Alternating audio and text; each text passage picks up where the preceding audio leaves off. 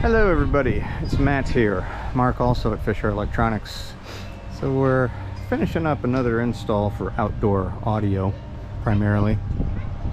Uh, that TV client installed they had there, that's an, that's an indoor TV and a TV shield protector. Um, all we've done is gotten audio from that TV into their system. So that TV was not installed by us. Um, our recommendation would be to use an outdoor television and not put an indoor TV in an enclosure, but no problem. That's what the customer wanted to do. Our system here that we've got, we've got two uh, outdoor speakers on the house. One there. Those are Mariner 66 Sonance. Very nice, very nice speakers. Uh, there's the other one, driven by a Sonos amp. So that covers their patio area. Let me turn around here and show you the rest of the situation. This is some of their patio area here, and then we have their pool. Pool, pool needs audio coverage also. Those are going to be covered by eight landscape speakers. Uh, these are six inch pendant speakers.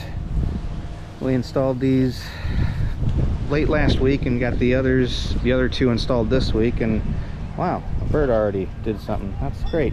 How about that? Get that cleaned off. But one, two. These are running on a 70 volt system. I'll gawk back around the pool. Three, four, five, six inch landscape speakers, six, seven, eight. Our speaker wire started around on that side. We brought it around through that end, through here. It's underground burial cable, about eight inches deep, eight to 10 actually. Um, comes along here, and there's where it comes up and goes into the house to get to our rack inside the house. So those are eight speakers around the pool um, on a 70 volt system. Um, Sonos is the other integration as far as how they're getting their audio into these. Um, into the system but basically what we have again eight speakers around the pool uh, landscape speakers those are six inch and then two speakers on the house. Um, they have their TV and that TV audio is also integrated to where they could say hey I'm gonna play my TV on these speakers here or I'm gonna play my TV on the pool speakers or I'm gonna play it on both. Or you could be playing your TV on the speakers on the house here and playing music on the pool. That could be done also. Let's go down and take a look at the uh, rack system, what we got down there, and then we'll go from there. All right, coming down here in the basement area, and I'll turn a light on too.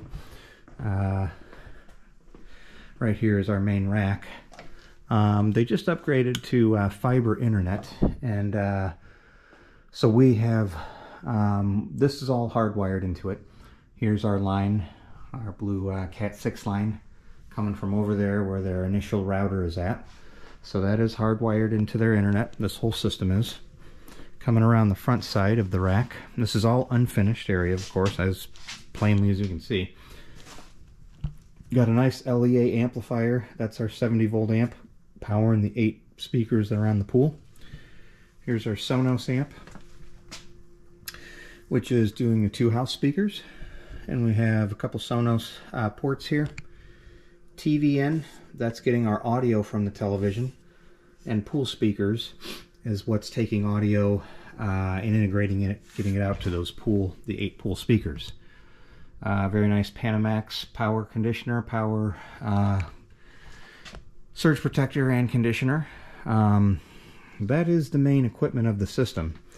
Um, kind of give you a different view it. We've got everything as tidied up as we can uh, for what we're looking for here. Our wires are coming down, coming in the rack, wire tied up as best we can get it. But that is the system. Not in that light too much. Our speaker line here is coming along. We brought it along here. This is our line going to those pool speakers again. And there it is coming down here and it goes out the corner of the house right over there, which Make sure I don't hit any toys down here. There it is going out over that way. But pretty straightforward system to get audio in two areas of their outdoor, well, for their outdoor entertainment. They have those speakers on the side of their house for excellent outdoor audio in that initial patio area. And they've got the eight speakers around the pool so they can be cranking and partying and having a good time. Turn the TV on at night. Hey, I want this TV audio through the Sonos system. I want it through these speakers. Okay, we can do that. And then that gets integrated into the speakers also. So, walk back outside, give you one more look at that, and then we'll kind of finish it up here. This is finishing up here on the second day. Again, there's our two outdoor speakers, six and a half inch. Speaker wires are coming down along the side, going in. Yeah, one other thing I'll show you. We did put this up. This has a cat line, so the TV is hardwired into the internet. Should mention that it is hardwired. We're not using Wi-Fi on the television.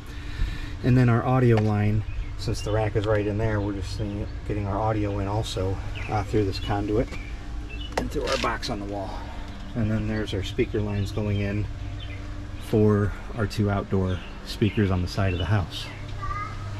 And then again you've got the eight speakers around the pool and that completes the system very well. All right throw any comments down below in the section? That section uh, matt at fisher electronics.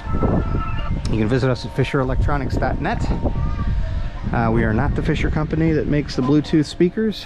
That's fishersound.com. We have nothing to do with them. Subscribe, uh, throw some likes in the video, and I'll see you on the next one. Have a good one, everybody.